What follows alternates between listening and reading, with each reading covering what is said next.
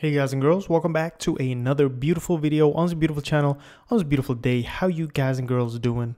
I hope you're doing great as always. Please check out the description box for all the nice links. Also drop a like, subscribe if you like the content. Check out the top right eye as well for a few links uh, to different stuffs. But here we are. So we're going to keep working on this text tag system and also add a little health bar hopefully today on our little enemies and we're gonna fix a few things that we've been lagging behind on. So first of all, I want you to go into your text tag system.cpp and I want you to control C this line or just do a control D next to it, depends on what you like. And change this to experience experience tag. Okay, so we're gonna add a text tag template now, which we'll be able to use. And what it's gonna be is you can, can keep whatever you want here. I'll just remove that.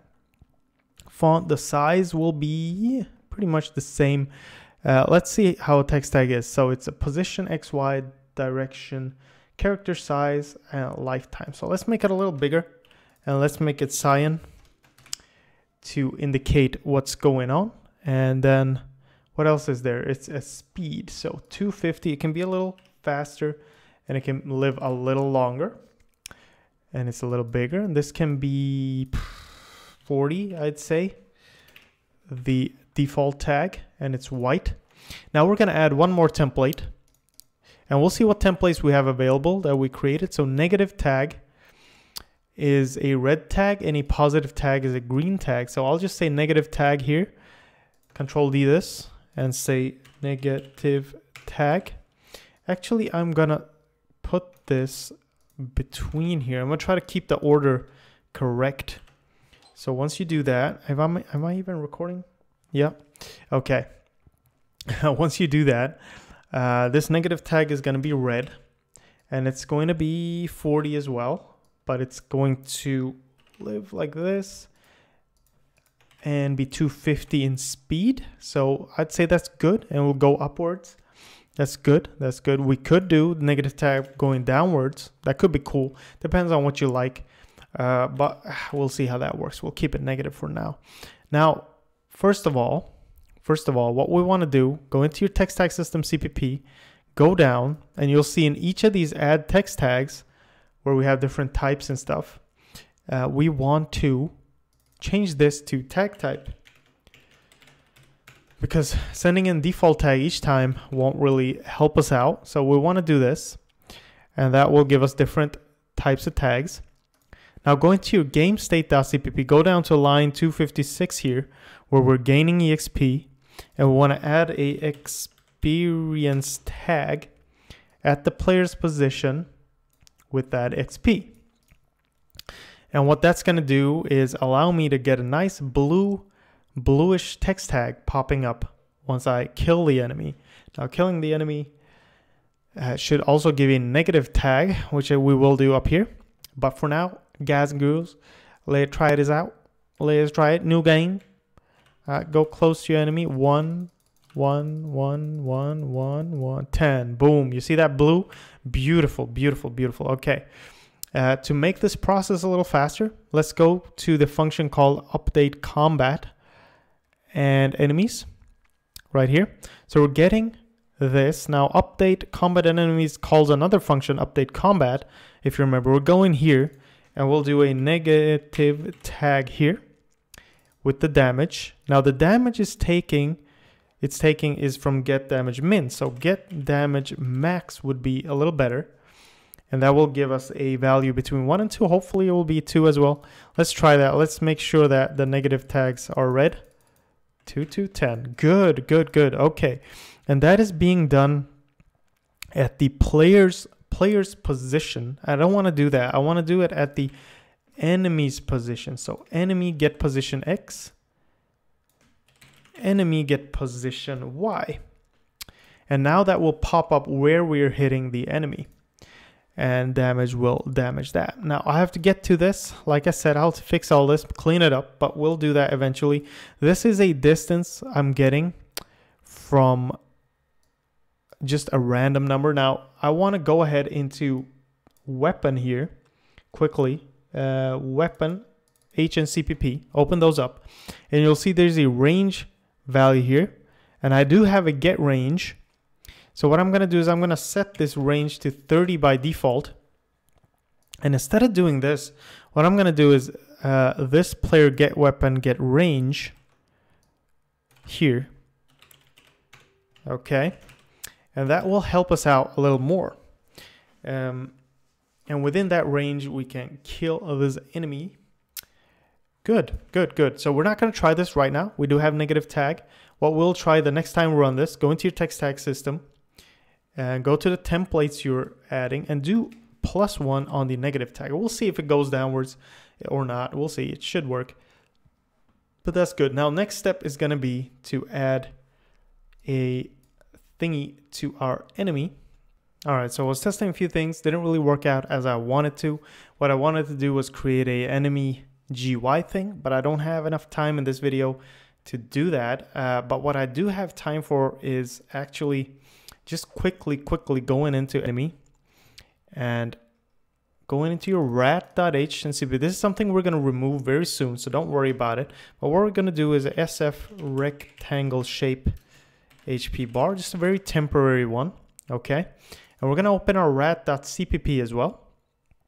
And we're gonna create a little void init GUI function here. We're still gonna keep this organized even though we are, we're kind of, uh, yeah, we're kind of doing this on the fly and just temporary stuff. So this HP bar dot set fill color, SF color red, step one, okay? And we're gonna set the size of this, this HP bar dot set size SF vector 2F. We're gonna do a little tiny one here. We're gonna do about 100F and then 20F, so kind of tiny. And then we're gonna do this HP bar dot set, there we go, set position.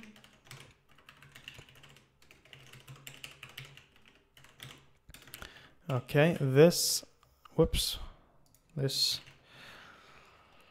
uh, da, da, da, movement component. Get okay so uh, that is all right. Get let's just see what we do here. This movement component get state. Okay so that has that update. Okay this sprite.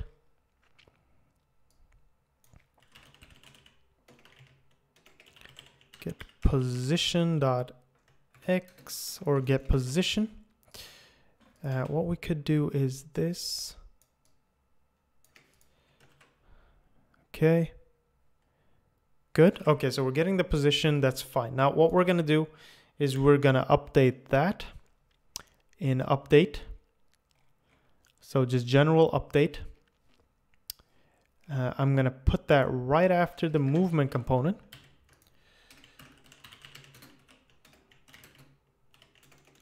GUI, remove this. This is just a test, okay? And we're gonna render it as well. So we're rendering the hitbox component, we're rendering everything. So finally, after the sprite, we're gonna render this. Uh, there we go, target dot draw this HP bar, and we're moving it with this thing. Good. Now we're just going to update it as well. So we're going to update the GUI here. This HP bar dot set size SF vector 2F. So the X size, the Y size is going to remain 20, but the X size is going to be a percentage value. So it's going to be 100.f multiplied by the percent. So this attribute component dot get HP divided by this attribute component get HP max. And what this does is it gets a percentage. So what percent HP do you have? Is it 100%? Is it whatever? And then we'll multi multiply that by this, by 100. And that's how it will be pretty much. So 1 times 100 will be 100 and then on so on and so on.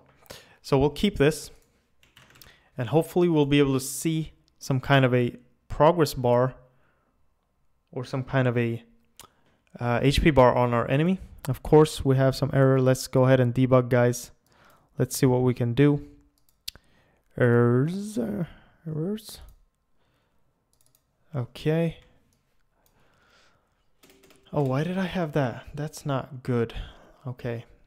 HP. Okay, remove that. Make sure. I, it shouldn't be in yours because, yeah, I was testing some stuff, so probably that's why. Uh, and let's put that back. Good. Let's try this. Hopefully it will run now. Yep. New game. And we'll see some kind of a progress bar. F multiplied. Okay, I forgot to initialize it. Sorry, guys. Uh, what you want to do, of course, is to do this init GUI like that. Okay, obviously the reason for this is that these are integers and this is not good. Static cast float, cast it to a float like that. Preferably cast both, but I'll just cast this and we'll actually minimize the size of it. It was a little too big actually. Let's do half that, almost 50 or 60 probably. And do the same up here. So I'm just gonna do 60 and then 10. And then run this. Hopefully it will be better now as a float division instead of a anything else. So yeah, so now you'll see we have some kind of HP bar and we can kill our enemies with our max damage and get some HP, get, get or XP, all that stuff. And that looks pretty cool, guys and girls. That looks pretty good. So thank you for watching. Sorry for the botched up video. It was a very botched up video. I had a lot of things to catch up on and test since it was a long time ago I made a video. But in the next one, I will keep working on this. Hopefully it will be better. And just ask me if you have any questions. If I did anything wrong, or something weird, just let me know and we'll fix it. Uh, we'll create some nice random damage function next video as well. So thanks for watching. Check out the eye on the top right, also the description box. Drop a like, comment, subscribe, all that stuff if you like the content. And hopefully I'll see you in the next one, right? Bye-bye.